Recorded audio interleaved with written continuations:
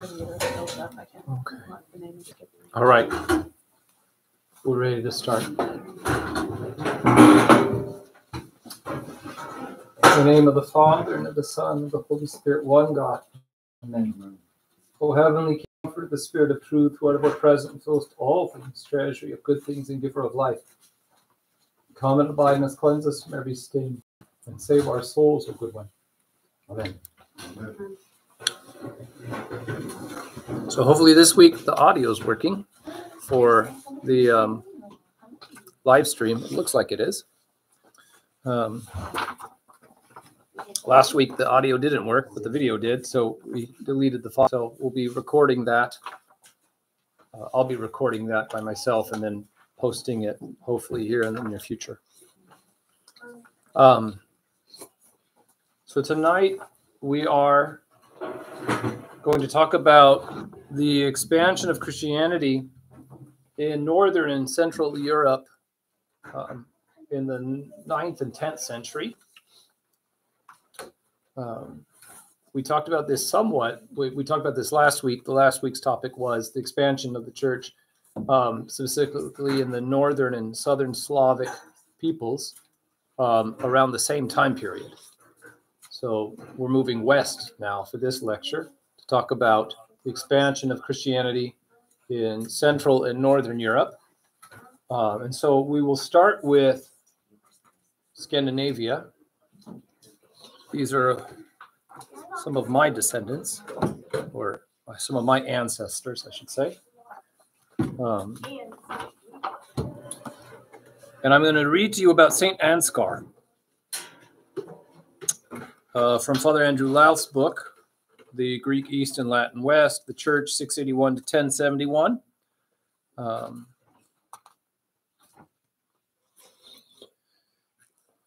so this is dealing with the, the, the missionizing of the church into the Scandinavian regions. He says the central figure seems to be Saint Ansgar, but this is probably simply because we have his life meaning there's a written life about who St. Ansgar was, written by his successor as Bishop of Hamburg Bremen in the late 9th century. Ansgar was born about 800 and became a monk of Corbie. There, he very likely read the missionary lives of Martin, Cuthbert, and Boniface. So these were missionaries of Western Europe before him. Um, Martin is Saint Martin of Tours. Cuthbert is Saint Cuthbert of Great Britain, British Isles, and Saint Boniface is the enlightener of the Germans, the Germanic peoples, um, in what is northern Germany. When he was transferred to Corbie's daughter house, Corvey in Saxony, on its foundation in 822, the memory of these lives doubtless inspired him to continue their work. In 826, Ansgar went to Denmark as a missionary and was able to continue there for a time after the fall of his patron, King Harold Klak. Shortly afterwards, he was invited further north to the people called the Suonis in what is now Sweden, in the neighborhood of Stockholm. His missionary work was recognized when he was consecrated first Archbishop of Hamburg and appointed papal legate to all Swedes, Danes, Slavs, and other northern people by Pope Gregory IV in about 832.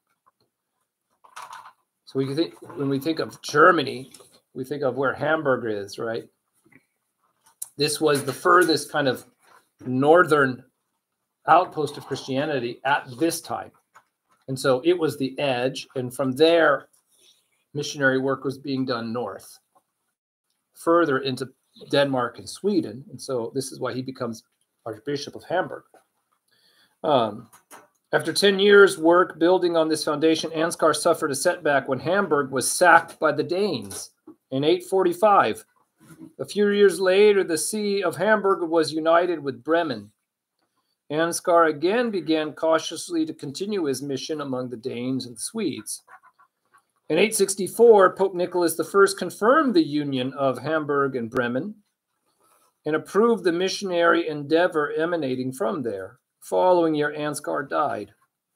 And very soon there was little evidence of any fruit of his work in Scandinavia. Ansgar's posthumous fame as apostle of the North is a rather a bid for his patronage of the later Christianization of the Scandinavians than a reflection of the success of his mission. So, in some sense, what St. Ansgar did was he kind of went in and broke the ground, but he didn't. Ultimately, what his his work didn't, in a sense, produce um, a major change in those cultures. He was he, his work was kind of the the cutting edge, um, and the, the majority of Danes and Swedes did not convert in his day, but they came. It, but that came, but rather that came later. Um, partly under the English monks who went to Norway. Um, Siegfried is one of them around the year 1000. Um, and that helped to kind of solidify what St. Ansgar started. Um, what, in a sense, affected the conversion of the, the of the Scandinavian people um, greatly was the fact that they themselves, these are the people we call the Vikings, um, left their own land. Um, and initially, what, what they did was to raid and pillage and rape and kill uh, wherever they went. Um, and in the process of that, though, as time went on, they started to settle down in specific regions that had already been in a sense, uh, the church had already established itself there. And so the Vikings who went out were exposed to Christianity. One of their main um, places they like to uh, sack were monasteries, because monasteries at this time kind of were the uh, functioned as banks in a way, not in terms of keeping your money per se, but if you had something precious, it was understood that the monastery was a sacred place and you wouldn't violate the grounds of the monastery. And so if you possess something that you wanted to protect, um, and you felt like you couldn't protect it, you would get you would ask the monastery to, in a sense, to guard it for you. And um, so monasteries became kind of um, the bank vault for people. Um, they were not involved in some kind of money lending in any way. They were just a place to store things, basically. But because of that, they were a ripe, ripe target for pillage. Yeah. So, um, but because of that, and then their settlement amongst Christian people, um, they were exposed to Christianity gradually. So I'm going to read another section here from Father Andrew Louth that deals with this. He says the Scandinavians had had long exposure to Christianity, for the Vikings, as they raided and traded, did so largely amongst those who had embraced Christianity. Trading led to settlement, and the Vikings who settled in northern and central England, in Ireland, and Normandy eventually came to embrace the Christianity of those among whom they settled. But the Vikings who settled maintained links with the, Scandin- with the Scandinavia from which they had come. And along these links, knowledge of Christianity and even some Christian practices may well have passed. And as a political and as political unions emerged in Scandinavia, Christian inst- instruction and Christian initiation could probably be sought quite informally. And for that reason, the names involved have been largely forgotten in terms of who was involved in Christianizing the Scandinavians. Um, to talk of the Christianization of Norway, Denmark, and Sweden is also to risk an anachronistic conception of what was happening. The Denmark that emerged as a Christian nation sometime after the turn of the millennium was rather different from the modern Denmark. Medieval Denmark included the eastern islands of the modern country, together with what is now southwestern Sweden, the coastal strip from Gothenburg to Malmo, with its cathedral in Lund.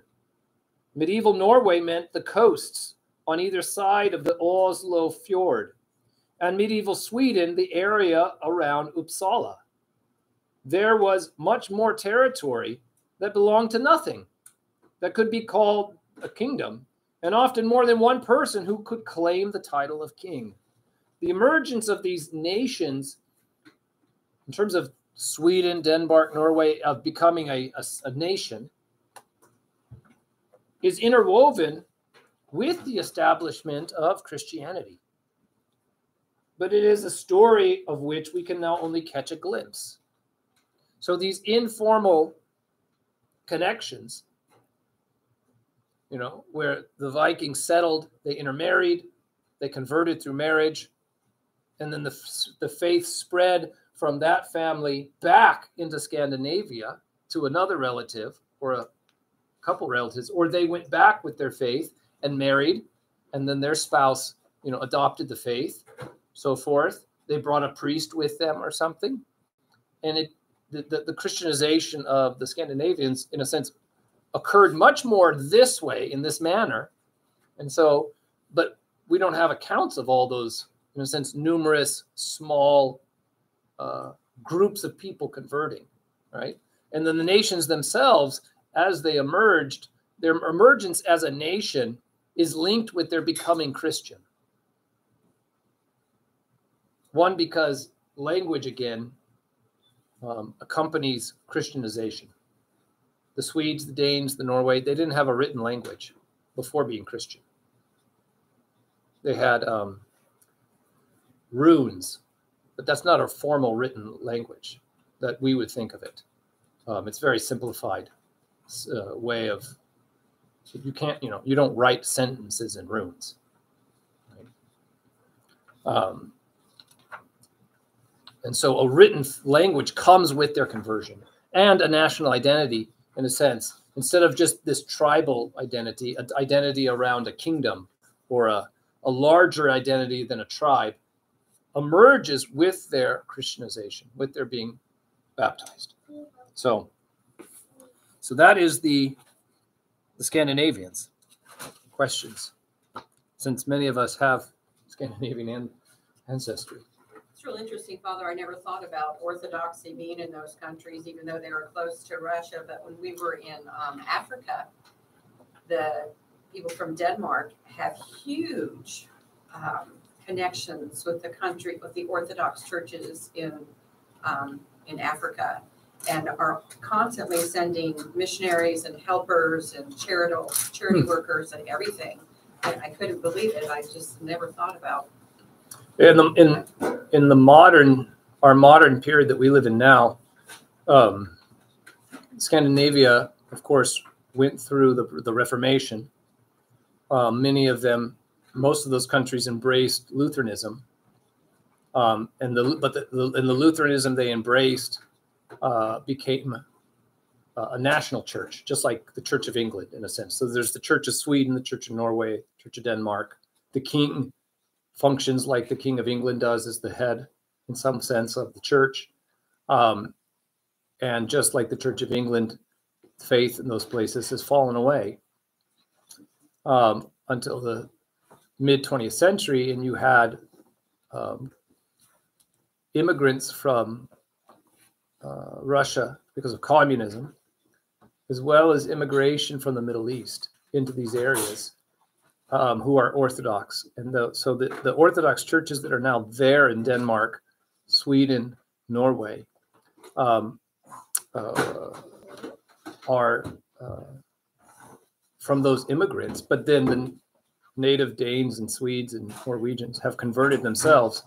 And but they also have had a a long history of, of evangelism and missionary work um, as uh, Lutherans or evangelical evangelical Christians, um, and they bring that kind of zeal with them if when they convert to Orthodoxy, and you see that then, as you said, kind of manifesting itself in you know Orthodox Danes as missionaries in Africa, so in other places, so um, such things happen. Yeah. So what was it about Christianity that would help precipitate the formation of a nation?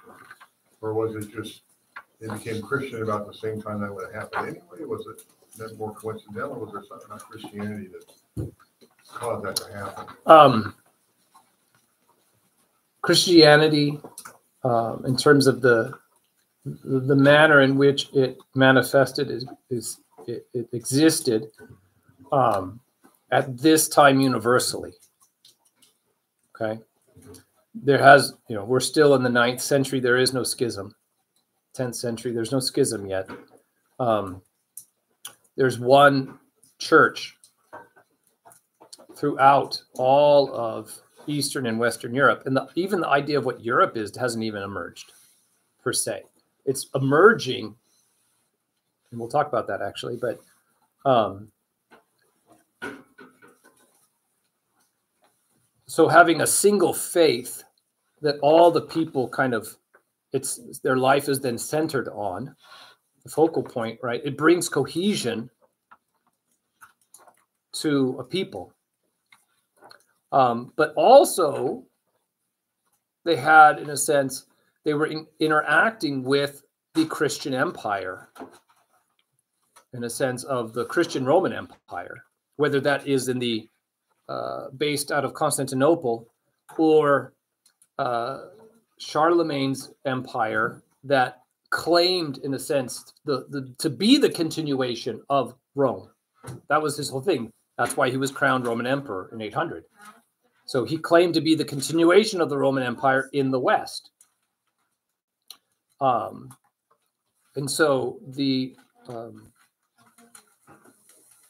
the the tribes, the these the, the barbarian tribes, Scandinavian tribes, and so forth, um, are much more loosely configured. But then they interact with a king, right? This is not necessarily the same kind of political structure that they they themselves have. And so um, receiving the faith also introduces them to, in a sense, the, the understanding of Roman Roman political structure or royal kind of the the, uh, the structure of a king and the structure of society around a king. That many tribes, in a sense, can be united by one king, and therefore a, a nation can emerge. And so um, so this is what I, I think, you know, these things kind of went together. So then you see certain tribes, in common formation. That's why you have multiple nations, because they had other things in common that they sort of formed around. Yeah, uh, mostly the, the language they spoke. And so but then you come and you give a written language to a people that also kind of binds them together um, and also kind of helps solidify the the, the language itself around a written form, standardizes somewhat the language because there's a written form of it. It's all these things kind of become very like glue that helps hold society together. Um, and a common, and then the establishment of some kind of common law. Um, and the tribal leaders become the nobility under a, a common king. They all kind of just stack up together naturally. Um, does it make sense? So, um, and this is then what you see. We've talked about the Bohemia, uh, which is modern day uh, Czech Republic. Um, the Church of Salzburg was a great missionizing force in the east, east of them. This is Salzburg, Austria, right? Modern day Austria. But at this time, there is no Austria. There's no country of Austria. Um, you have German, you know, th- this would be part of what we would call East Francia at this time period. The empire, because Charlemagne's empire fractures after his death, it's divided between his three sons. East Francia is one of these. It becomes the dominant political structure or force or kingdom um, in the, the eastern part of what Charlemagne's empire was. The kingdom of France becomes the dominant force in the western part. And it's and as we see, so from and this was the area that this East Francia was would have kind of Salzburg was within this uh, this kingdom, and so it is from there that the converted princes uh, Ch- Chitmar, Duke of Carantania, which is southern Austria and northeast Slovenia. Carantania, this kingdom or this principality, was this, this that's where this was. It's this one kingdom incorporated parts of southern Austria and northern Slovenia. Um, also, Pribina, uh, the Slav prince of Moravia, was missionized through Salzburg, and Mojmir, prince of Bohemia. This is all in 822. Um, then we jump ahead, since we've already talked about um, and Cyril and Methodius coming to, to Moravia and the work that they then did. Um, it's then in we get to our favorite uh, king of a Christmas carol, Saint Wenceslaus, who went out on the feast of Stephen when the snow lay round about, deep and crisp and even. That Christmas carol is about a real historic person, Saint Wenceslaus. He was born 907. His father dies in 919. Uh, his father was the king of Moravia. Conflict over who would lead his regency because he was in his minority. He was too young to rule on his own. Um, there was a bitter, there was a battle between who would lead that between Saint Wenceslaus' gra- grandmother, Saint Ludmila, because we've had many Ukrainians, uh, refugees coming into uh, Topeka. There's been a, uh, a number that are called Mila. Mila is short for Ludmila. This Ludmila. Saint Ludmila, the grandmother of Saint Wenceslaus. Um, she, though, kind of loses the battle, and it's Saint Wenceslaus' mother, uh, Dragomira, who runs the kingdom while Wenceslaus is in his minority.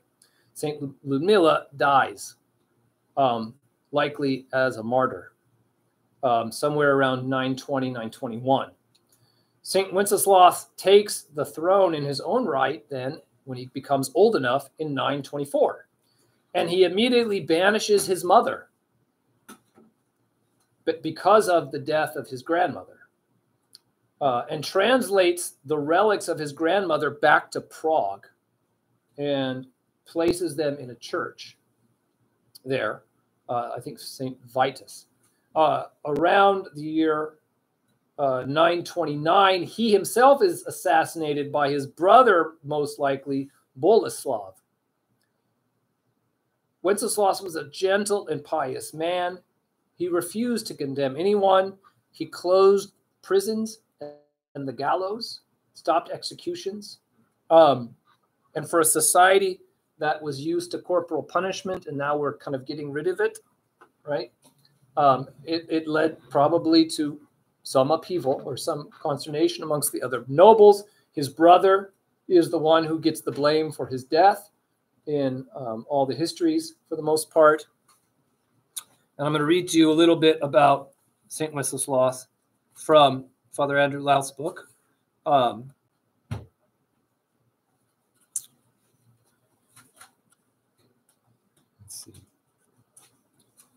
So, scarcely more than two years after St. Wenceslaus' death, Boleslav had, this is now, he's now king, and he's his brother, who likely had him killed, had his brother's relics, which had been already begun to work miracles, brought back to Prague and placed in the church of St. Vitus that had been built by St. Wenceslaus.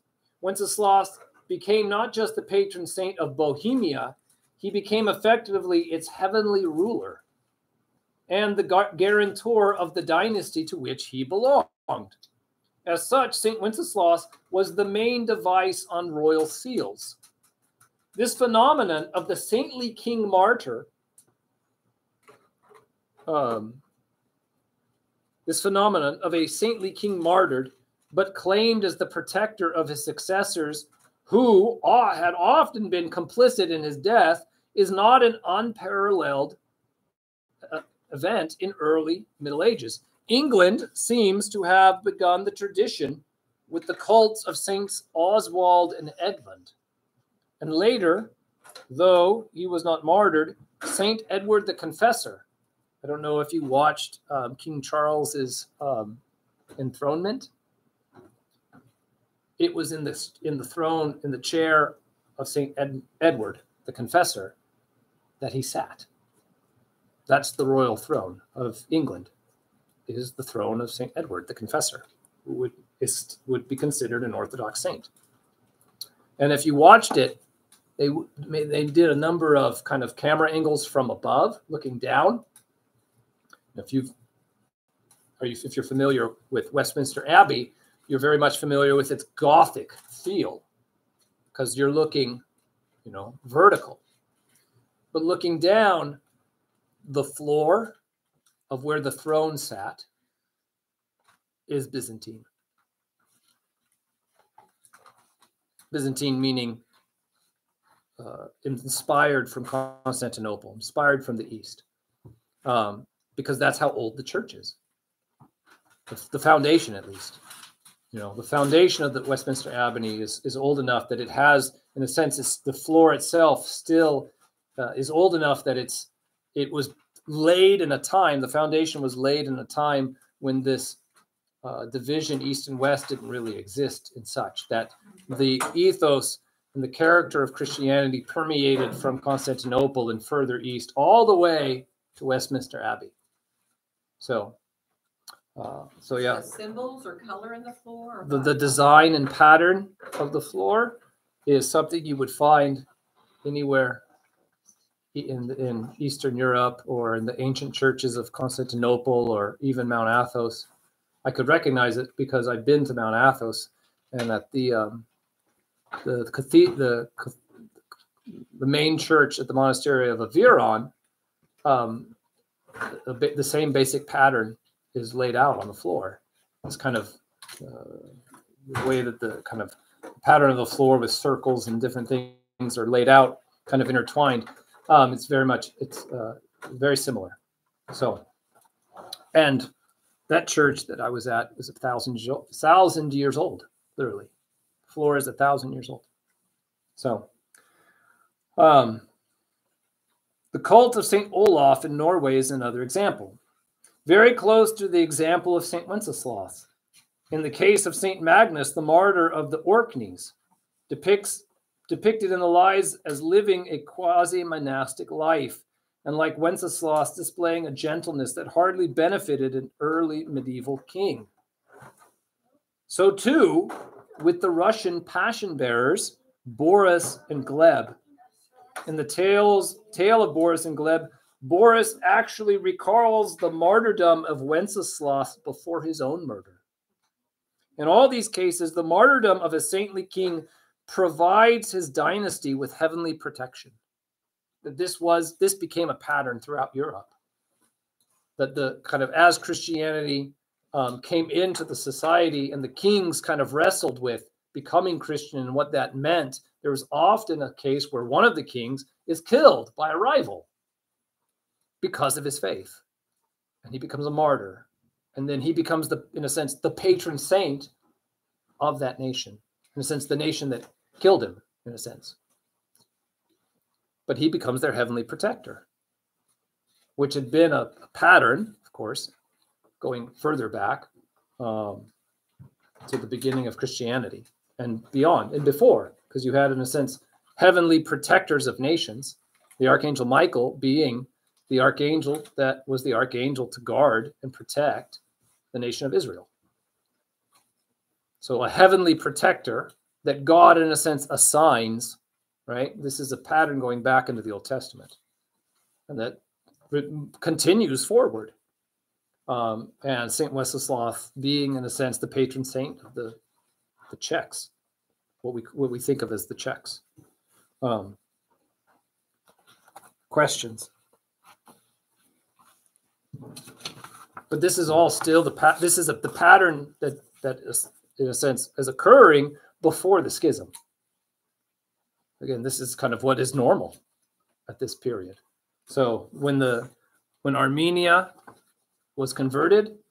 Uh, it wasn't. They have they have in a sense saintly kings, but the the for them the one who is the founder of the kind of the patron saint of Armenia is Saint Gregory the Illuminator. He was the in a sense the one who had been sold into slavery, I think it was. In the pit for fifteen years. Yeah, huh yeah, he had been confined for many, many years, and but um, he was able to uh, assist the king. And the king was, you know, converted because of the work of this slave, and the same of Georgia. Right, the slave Nina, she is the one who becomes the kind of the patron, one of the patron saints of Georgia, as kind of the first to missionize the be. And this follows the pattern of what we were talking about with the Scandinavians, the simple people, right? St. Patrick being similar to this, right? In the sense that he was a slave in Ireland first. And then he left. And but then he was sent back, right? And we have his life written. Well, St. Nina was similar. She was a slave in Georgia. And through her life, um, through her life, she impacted people and they saw the truth of Christ in her life first before she had to say anything. And the same with St. Gregory. Um, so, in some sense, with the kings, then, the kings themselves are trying to embrace Christianity and what that means to be a Christian, and they are uh, opposed by their pagan siblings, basically, in most of these examples, um, and give their life um, in a sense, in a, uh, as opposed to fight for their kingdom. Um, so this sets a pattern um, that then, uh, which is basically the same pattern of Christ taking up his cross to die for his people, right? The kings become, you know, they take their cross literally sometimes for their for their people. Um, but ultimately, that that sacrifice becomes salvific for themselves and as a witness to their own people that then embrace the faith because of their what they did. And they then intercede or are the patrons of that nation. Um, and nations don't have just one patron saint often right? Um, in georgia and armenia you have rulers kings who then themselves die for their faith and they are then kind of added to that list of patrons of the nation in a sense from different time periods. Um, it's not just nations, cities too. Thessalonica has like I don't know how many patron saints. So um, because you know Saint Paul being one of them, Saint Demetrius the great martyr who died in Thessalonica, um, and then uh, Saint Nestor, who was his disciple, died in Thessalonica. Uh, and then, of course, then in the 14th century, St. Gregory Palamas is Archbishop of Thessalonica, and he reposes there. They're all kind of include. They're all counted as patrons of that city because they all had been there. They all had done work there. They all had cared about the city. So that love and care doesn't, in a sense, end when they die. So people remember them and celebrate their uh, their their memory. Um, and this that's the patterns followed here by Saint Wenceslaus um, in what happens after his death. The questions.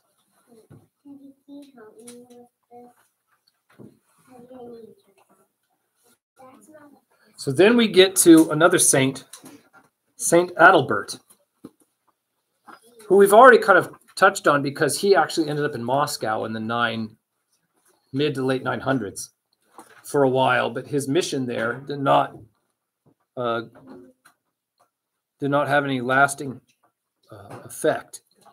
Um, so again, Father Andrew Louth.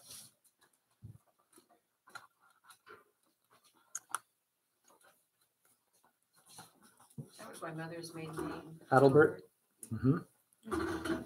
We'll see why, maybe your mother being of German and from Germany, right? Bavaria. Bavaria, yeah. Adalbert was more of an ascetic than a bishop and had been impressed by the ideals of Cluny. Cluny had, was a monastery in France that became extremely uh, influential in the West. Um, if there's time, we'll talk about it. Um, after six difficult years, um, and so Adalbert became the second bishop of Bohemia.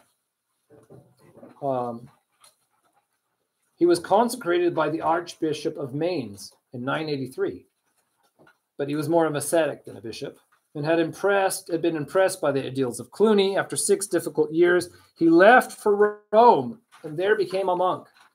He returned to Prague briefly and founded a monastery near Prague in 992. Thereafter, relations with Boleslav worsened, and he left for Rome again. In about 995, he visited Hungary, where he baptized Geza in his son Stephen. This is Stephen, future Saint Stephen, King of Hungary.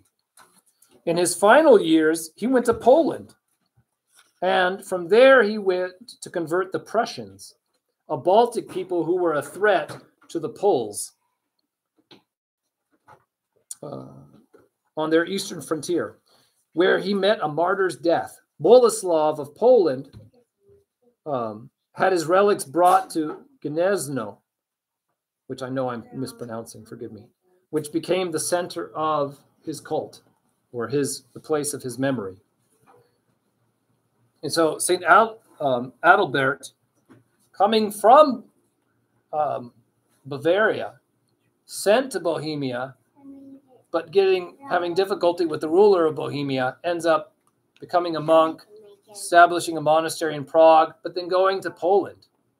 At one point, though, in the midst of this, the 980s, or the, before the ninth, uh, before, I don't remember the exact date, but he was also asked to come to, to Moscow by Olga, but that didn't establish, that didn't take root um, at that time, and he went back and then ended up again in Poland. Um, so Father Andrew Louth goes on. He says, despite the links with the Latin Church in Germany, Slav was still at least tolerated in the Czech church and remained so throughout the 10th century. This happy state of affairs could not last, and in the course of the 11th century, the Slav tradition was gradually forced out. By the end of the century, the Church of Bohemian was a Latin speaking church. So the initial work in Slavonic amongst the Bohemians only lasts into the 11th century when Latin is basically imposed on the entirety of the church in Bohemia. Um, again, from the what is from the the influence of the what we the empire to the west, which we'll get to here in a little bit, which is the um, what is called the Holy Roman Empire. What but is the the, is the, uh, the, the, the kingdom of East Francia that then enlarges itself and basically brings several under kingdoms under its authority, where you have an emperor over a number of kingdoms. That's what the Holy Roman Empire becomes. Um, but again, it's Latin is its language. So, at least for religion. And then we get to the Hungarians, or what they they call themselves the Magyars. Their language is Uralic, is from the Uralic family, which is the same language family as the Finns, the Estonians, and many Central Russian uh, language families of various tribes. And so it is most likely that the Hungarians were people who migrated from the Ural Mountains the Ural Mountain region of what is uh, modern day Russia. They're first mentioned in Western sources in 862. They were a nomadic people that came from the east. They were the marauding pagan hordes, in a sense, on horseback, able to shoot their, their bows um, extremely well.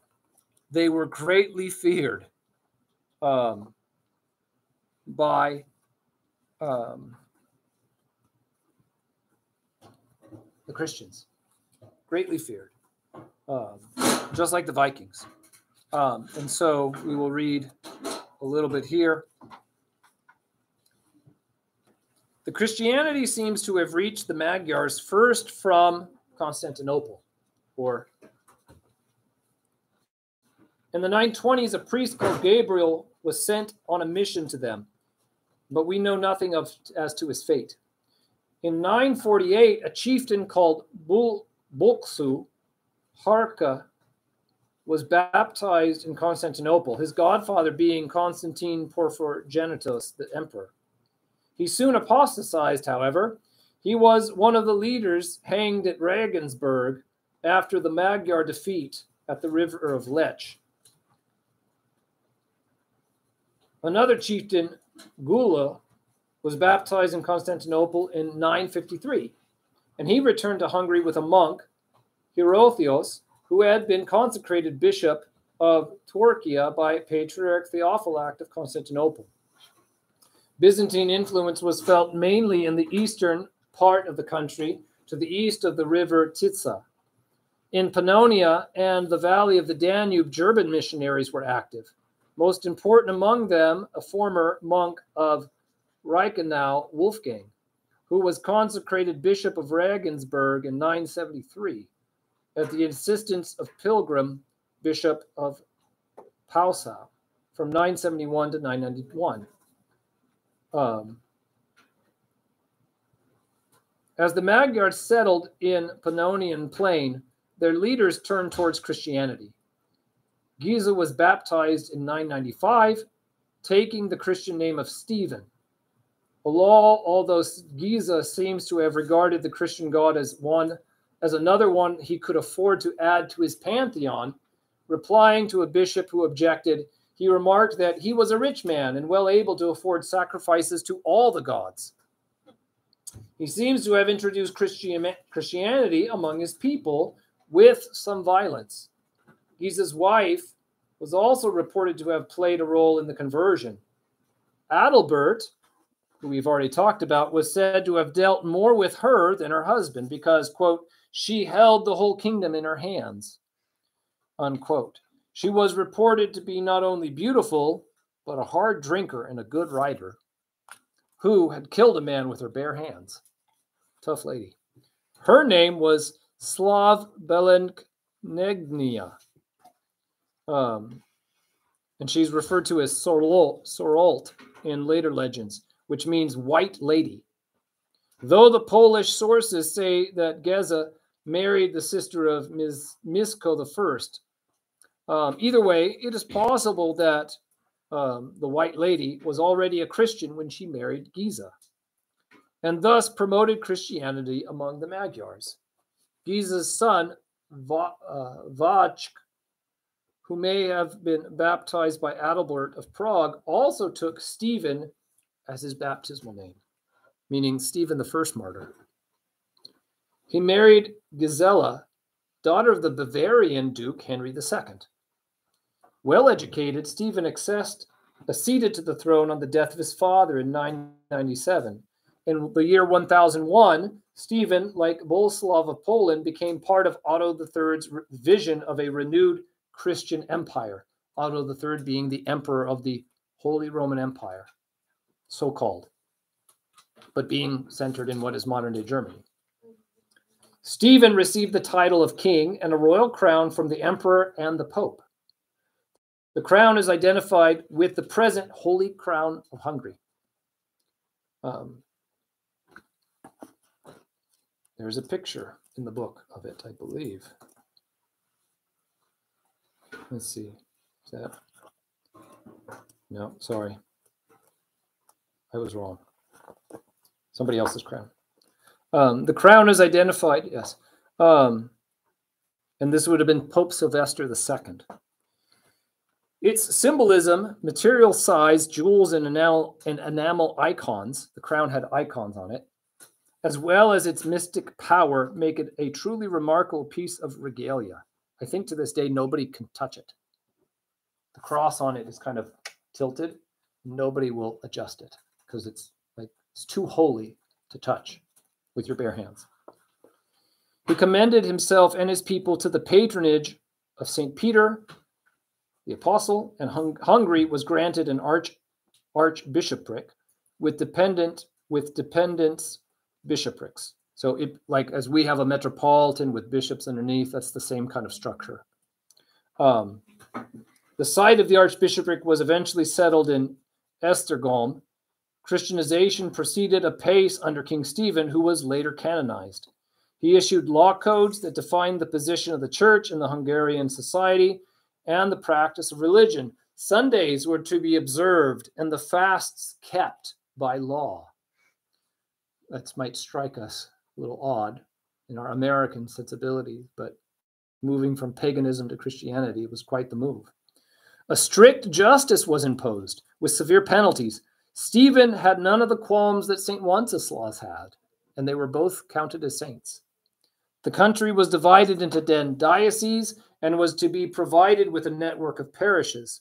A Benedictine convent was founded on the hill of St. Martin, and other monasteries were established throughout his realm.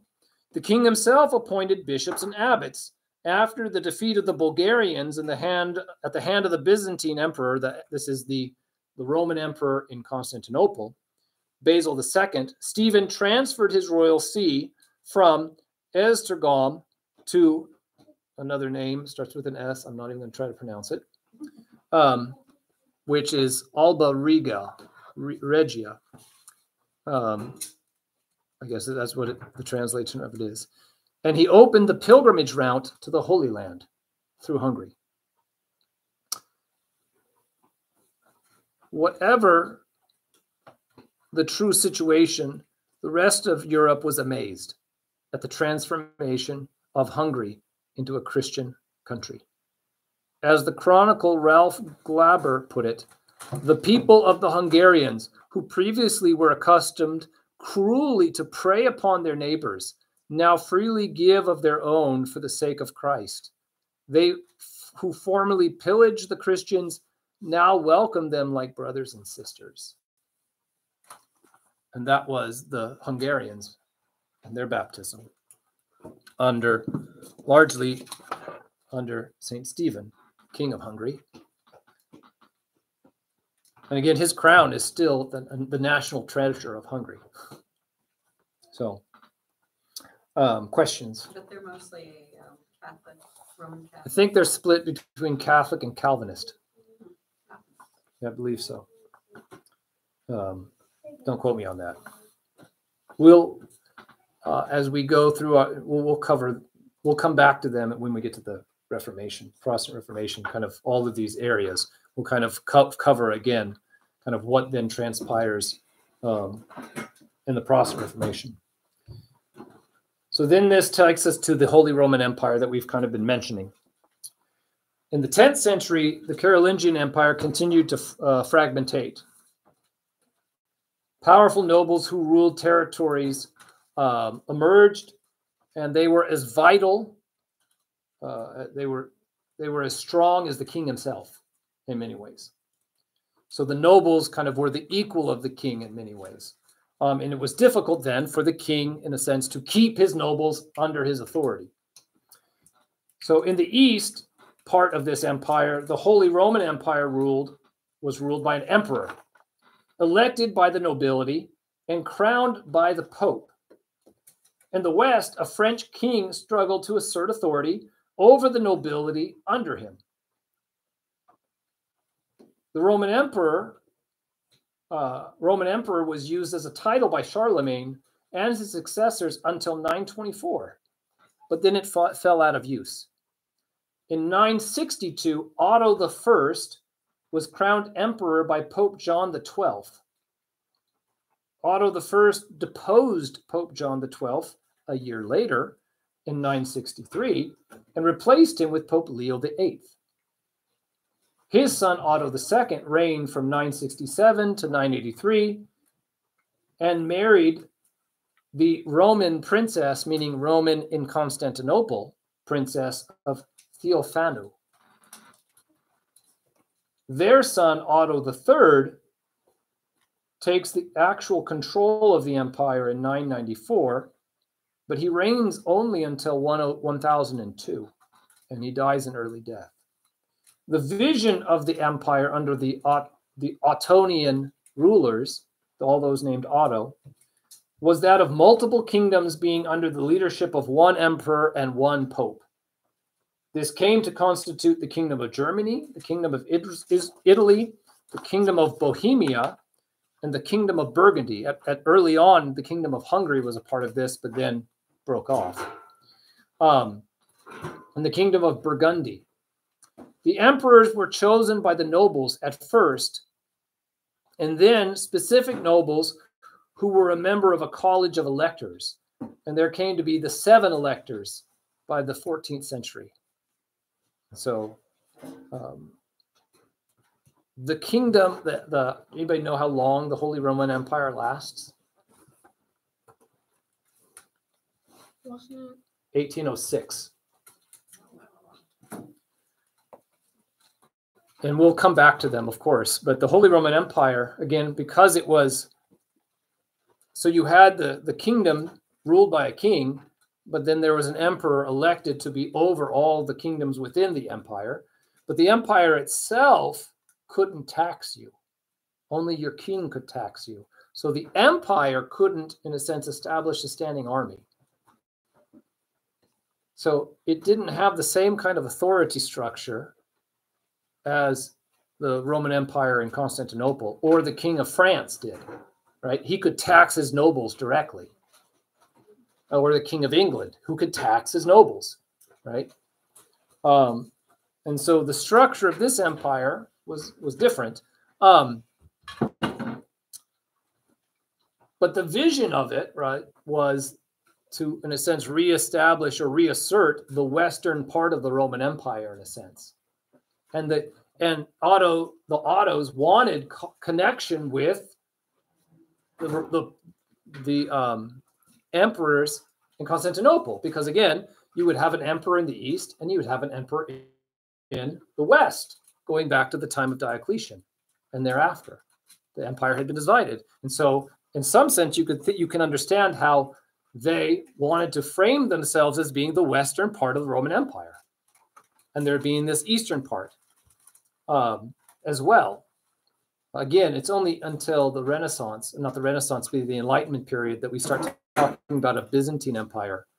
That that's a modern term created to distinguish the Roman Empire based in Constantinople from the Roman Empire anywhere else when it was based somewhere else. Still the Roman Empire, though. Um, and so,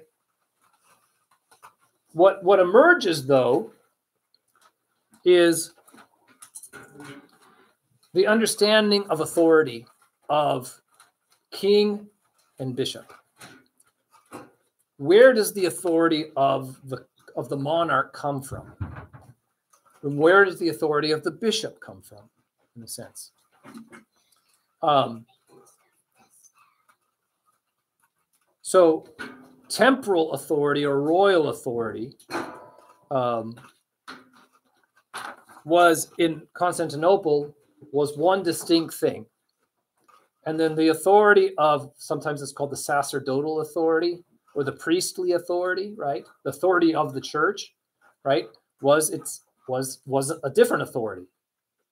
Um, and so in Constantinople and in the East, the understanding was there was supposed to be a symphony between these authorities, that they worked together in a symphony, right, in harmony with one another. Um, but the understanding is the the authority of the king was directly from God just like David in the Old Testament. God anointed him king through Samuel, but it was the authority of kingship was from God. It didn't come to the king, in a sense, through the church. The priestly authority didn't grant the kingly authority, it came directly from God. And the priestly authority, or authority of the bishops in the church, came directly from God and they were to work in harmony with one another. But because the emperor was to manage the temporal affairs of his kingdom, he had a say in what went on with the organization of the church, in a sense, of how it was organized, who the bishops were going to be, and so forth. And this understanding was universal pretty much throughout uh, East and West, where you had the kings having a say in who was going to be the bishop or even the abbot of a monastery. Um, because the king was the head of the Christian nation. And his authority as king came directly from God. And he was in charge of ordering justly the kingdom. And so therefore he had a say in who was the, you know, the, the appointment of the bishops. And this is what we saw with the Bishop of Rome asking the approval of the emperor in Constantinople in the time period um, of the seven to eight hundreds, where you have the um, uh, the uh, what we call the they call it the Byzantine popes. Um, Anna Marie, get the power thing, we got to plug this thing in. Um, so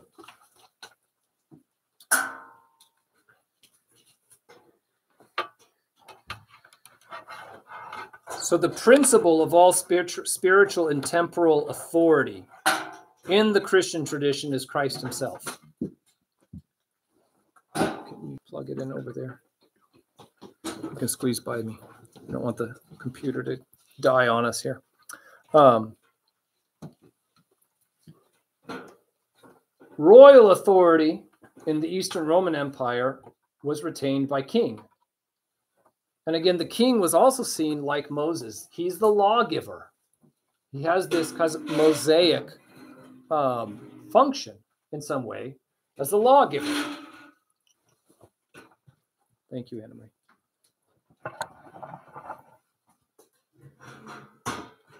And the priestly or sacerdotal authority is, is granted to the bishops, and through the bishops to the priests. Um, and this is the role of Aaron or Samuel in some sense, compared. Um, now, in Christ, both king and priestly authority is assumed in himself because Christ is both king, king and priest, high priest, according to the order of Melchizedek. But in but in the but in the church, the bishop does not possess kingly authority. He only possesses priestly authority. He shares in Christ's high priesthood. He doesn't possess it as something of his own. Okay? And the king receives his authority as king from God. This is the this is the understanding at the time. So this meant that the royal authority. Now I'm, I'm reading to you a quote from Philip Sherrard, his book, The Greek East and the Latin West: A Study in Christian Tradition. Um, He says this meant that the royal authority of the emperor, regarded by the episcopate itself um, as of divine origin. The bishops considered the authority of the king as being of divine origin, it coming from God, and extended over the official, exoteric, or the external tradition of the church, was practically speaking absolute. The bishops having authority in the connection only to the point of seeing that the faith of which the emperor sought to bind his subjects was the right faith. So basically, it's the bishop's job to make sure that the faith of the emperor is the right faith. But then it's the emperor who's organizing society around the right faith in terms of the organization of law and justice. And the today working of markets, economics, all of those things that these are justly uh, organized around the right the right faith. What happens in the West, though, is something different. And this is again Philip Philip Sherrard. Um, the Pope's claim to primacy the attempt to end the conflict and tension that had resulted from the separation of power between the bishops and the emperor during the Byzantine period, meaning the period where the popes, this Byzantine period of popes, where the popes would go and seek the approval of the emperor, and also then after that period, the iconoclast period that was rather disruptive in the empire. Um, the problems that ar- arose from iconoclasm, from the emperor imposing on the church, in a sense, a false faith, right? The Bishop of Rome, his attempt to solve that problem right, was to establish by was by establishing the papacy as the supreme source of both spiritual and temporal, meaning sacerdotal and royal authority on earth. And by compelling the emperor to accept the principle that his authority derives not directly from God, but from the Pope. And this is then why this is this is all rooted then this understanding works itself out one from Charlemagne being crowned emperor in, in a sense Pope Leo III Pope Leo III claiming the right to choose the emperor because he gave the title of emperor to Charlemagne. It came from the Pope, even though the Pope then, then in a sense, did uh, honored him or prostrated himself before the emperor after he gave him the authority. No other pope ever will do that again. Otto I is crowned again emperor by John the Twelfth, meaning from the pope, the authority of emperor is given to a man. It's not understood in the West as coming directly from God, but now coming through the pope to the king. And therefore, the pope is a, an authority above the king. In a sense, not a not a spiritual authority that is equivalent to a temp, the temporal authority of the king. In a sense, they not that they they aren't equals in a sense, but one is superior to the other. They each in in in, in Constantinople, the king, the emperor, and the bishops, right, were were were they had their own area of authority, one spiritual and one temporal. And they could give input to the other, but they weren't able to step into the other's authority and, and um, administer it themselves. And neither of them saw their authority coming from the other. Does that make sense? Whereas in the West, what emerges from Charlemagne and then it develops onward, now especially with Otto the First, the Holy Roman Empire, the temporal authority is coming not from God directly, but from the Bishop of Rome. And so the Bishop of Rome becomes this elevated figure above even the kings. And this, this um, tension, this uh, between the emperors, the kings, and the, and the Pope of Rome will be the main kind of arena of conflict in some sense, and controversy, um, and shenanigans, you might say, for the rest of the Middle Ages. But it is a novel. It is a novel and new idea and way of structuring society that emerges in the Middle Ages and takes root by the 11th and 12th century in the West. Um, and then, of course, the Reformation will be a rejection, uh, first of papal authority, and then the revolutions of France and America, as well as communism and so forth, is a is a rejection of the concept of divine, in a sense, authority coming to the king. So, but we'll get there. And which pope was that that claimed that authority? Well, Pope Leo III, what Pope, the first Pope to kind of claim this idea that he could make an emperor is Leo III um, in 800. Um, but then this will be, in a sense, reasserted, kind of will ebb and flow, and will reassert itself now under Otto I. Um, and going forward. And it becomes this tension when we get to Gregory uh, the seventh, I think it is. Um, Hildebrand is, is, is another name, his, his other name. Um, these are the Gregorian reforms of the 11th century. This is where the ideas of this, this, these kind of things are firmly asserted. The Pope's authority over temporal and spiritual spheres kind of become dogmatized in the Catholic Church at that point. And this is post schism post 1054. That's 1074 that these things are starting to be asserted. But this is where, but in terms of where this conflict is emerging, it's a different concept of the structure of society that is emerging. Um, now, uh, and that we're still kind of living with the ramifications of in many ways, especially because the there is the in a sense the the backlash to it, right? Is is we're living in the the kind of the the final logical uh, ends of that backlash today. So, um, of, of, of, of, of this assertion of authority kind of reaching too far and then a rejection of it, kind of these things move through history slowly often. So, um, this is where we're going. But this also sets the foundation. This, this idea of the Pope's authority will set this foundation for a further division and the greater split east and west on, uh, going forward. So, any questions? All right. God bless you. We will not have class next week. We have festival prep all week. So we are not going to have a class next Wednesday night.